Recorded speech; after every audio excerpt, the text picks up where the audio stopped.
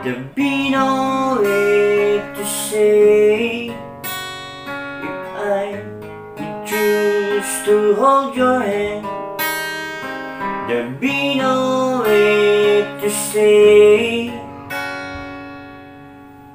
So mga kinks, ito yung kantang inirequest ng ating isang kaibigan na sumusubaybay sa ating mga guitar tutorial. Ang kanta ng River Maya, ito yung request ng ating kaibigan na si JP Tag Health and Wellness. Kengs, ito na yung request mo na kanta ng River Maya na If. At ipakikita ko sa inyo kung ano yung mga tipang yun. Oh my Kengs, intro.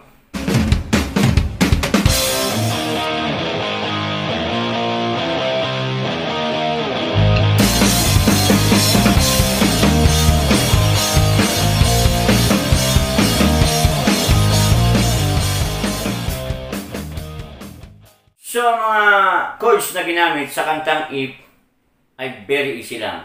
Ito siya. A.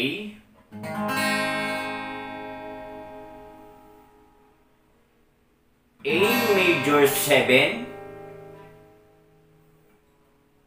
D. And G.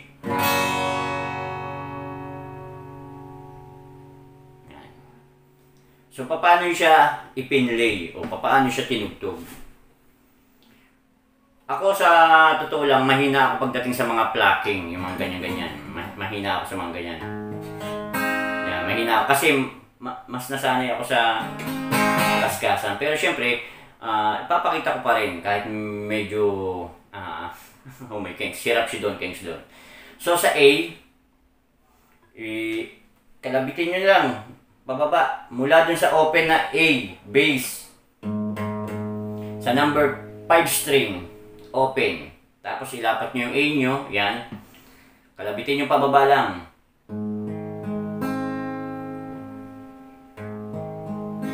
Yan. Tapos A major 7.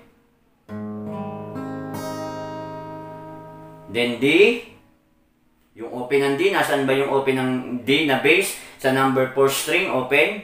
Tapos nakalapat yung D nyo. Unahin yung open. Then, G. Ulitin natin.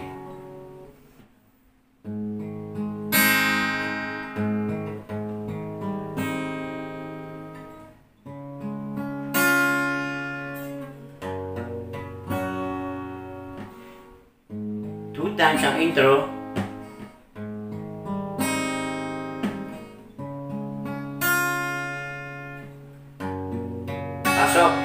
If I could choose to live my life, there'd be no way to say. If I could choose to hold your hand, there'd be no way to say.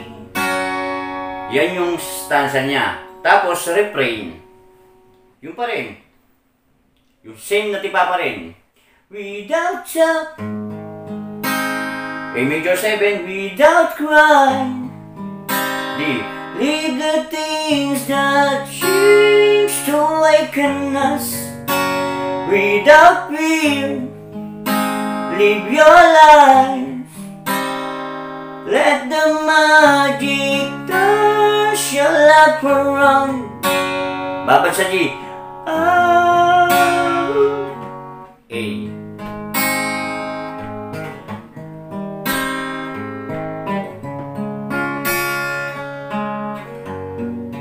Pwede nyo niyang kaskasin ng konti. If I could choose to live my life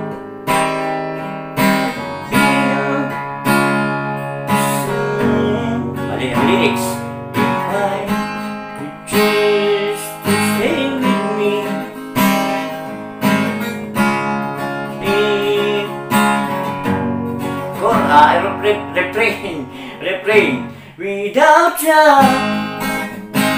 Lead the crime.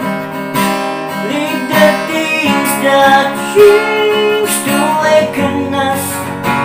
Without fear. Live your life. Let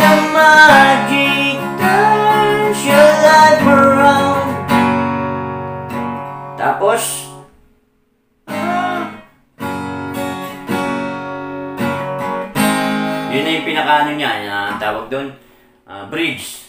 Whole life, whole life,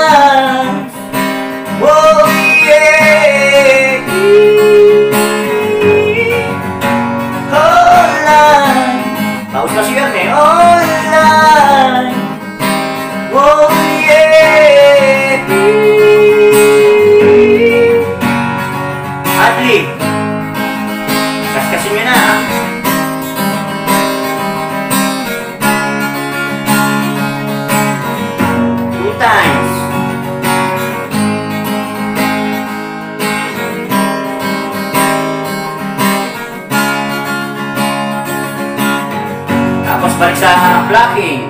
If I could choose to live my life, there'd be no way to say. Ganun lang.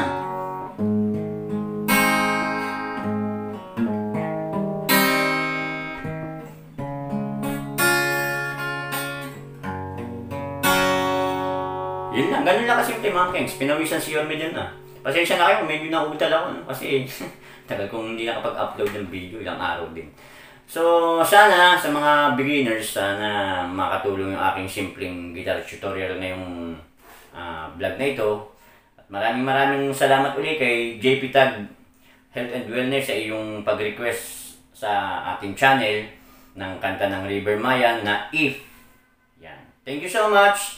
At sa lahat po ng mga gusto pang matutong maggitara, may mga guitar tutorial po tayo dyan. Siyempre, especially, puro eraser heads nga halos ako dahil ah, idol ko talaga yung eraser head si El Buendia. At yung meron pa tayong request dyan, mga mga BST, yung mga ganyan. Tutugtugin natin yan mga kangs, huwag kayong maglala. Eh, isa-isahin natin yan. At meron ding, Hey Jane!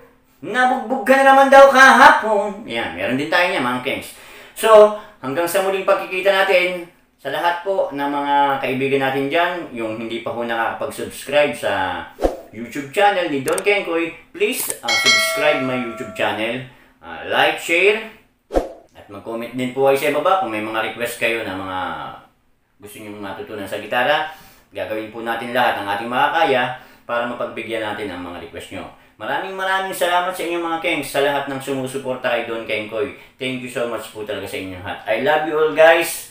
Uh, see you sa next vlog natin. So mga Kengs, oh my Kengs,